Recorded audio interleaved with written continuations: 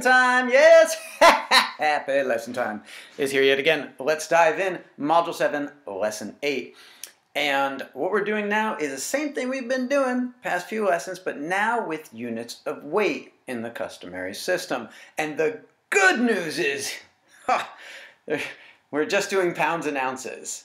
So capacity was confusing because we had gallons and quarts and pints and cups. And then uh, even with length measurement, we had inches, feet, and yards. Okay, but here is just two units, pounds and ounces. That's it. Hallelujah. Let's begin. All right, so let's start with that straightforward conversion right there. One pound is how many ounces? Well, yes, it is 16 ounces. Okay, so then that would mean that if you had a pound and three ounces, that's a total of well, the pound we just said is 16, and three more would be 19 ounces. Beautiful. All right. One pound, one ounce. 16 and one are 17 ounces. And one pound, nine ounces. 16 and nine, 25 ounces. Okay. Three pounds, 11 ounces. Okay. Whew. Three times 16 is well, you can do 3 times 10 is 30, and 3 times 6 is 18. 30 and 18 are 48, uh, plus 11 more make 59er. Yep, 59 ounces. Going the other way, 16 ounces then is 1 pound. Okay, great. So then 20 ounces, break that down into pounds and ounces. Pull out the 16 ounces to make a pound, leaving 4 ounces. So 1 pound, 4 ounces. See how this works? 30 ounces, there's a couple ways to do this. We could do the same thing, pull out the 16.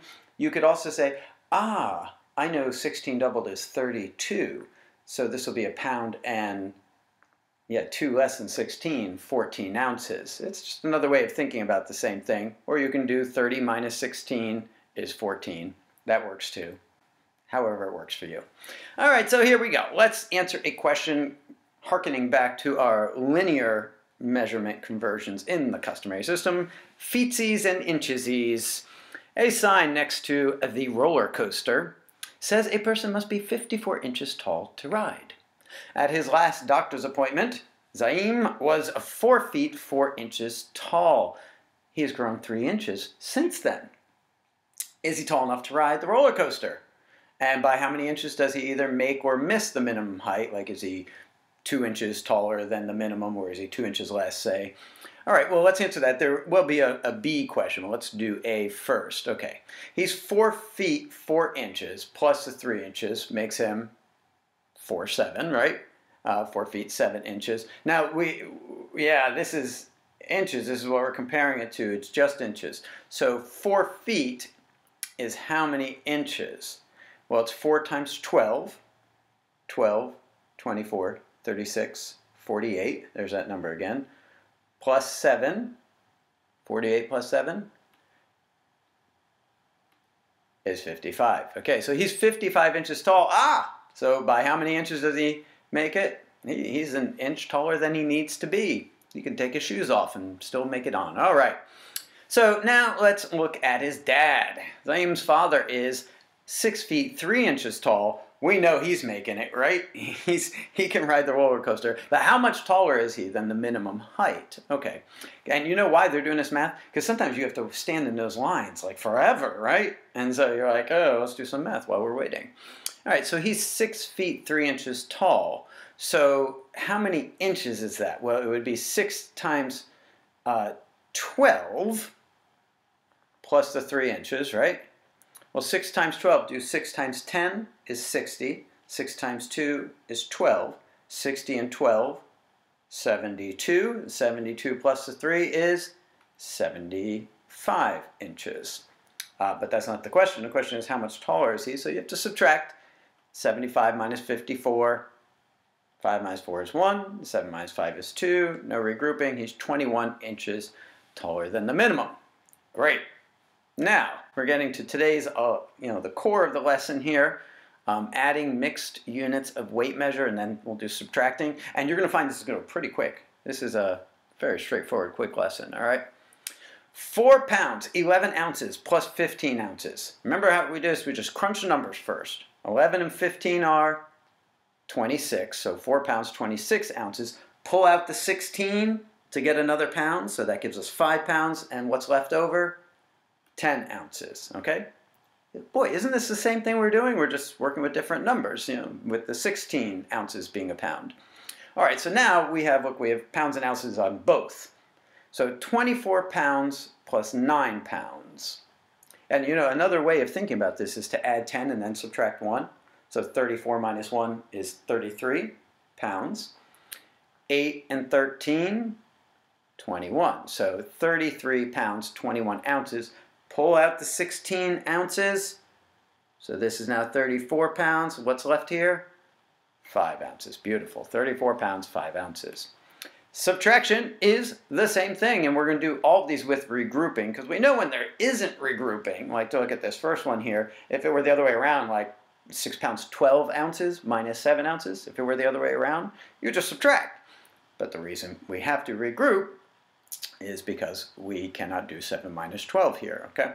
So the wrong answer here, like if I were writing a quiz, the wrong answer uh, A would be 6 pounds 5 ounces if you didn't, if you reverse the numbers, which doesn't happen too often in fourth grade, but it does.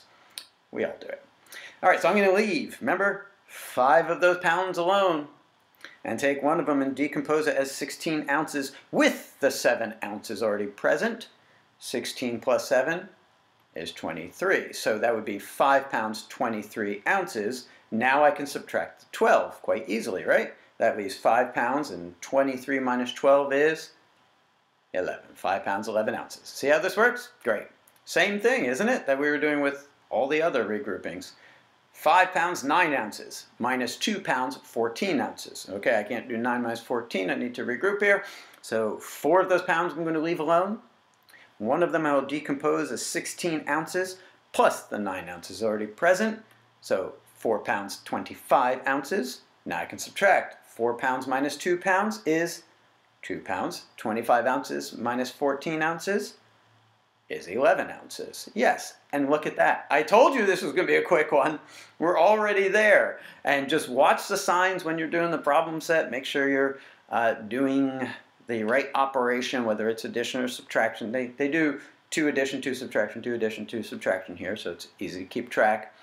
Um, here we're comparing the, well, actually, yeah, it's kind of a comparison. The, the two backpacks together is 27 pounds. Sarah's weighs this much.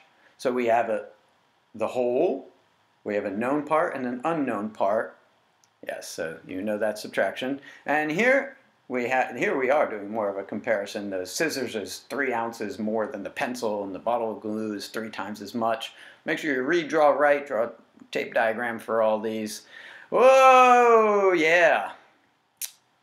Do it up, y'all. The only thing I want to make sure you do on this one, uh, the only time I've seen students get this one wrong was when they forgot saying A here. It's the laptop, the supply case, into her backpack. So you need to include the empty backpack there as well, okay? Um, and then uh, and here as well in B, make sure you include the, the backpack itself. Um, and then exit ticket is same thing but shorter. When you get to the homework, you know what to do. Hop on over to homework. Look, another backpack one, just different numbers. Hop on over to the homework time video, and we will do it all there together. Well, look at what you've gone and done. You've completed another lesson. Bully for you. And I will see you next time. It is once again lesson time.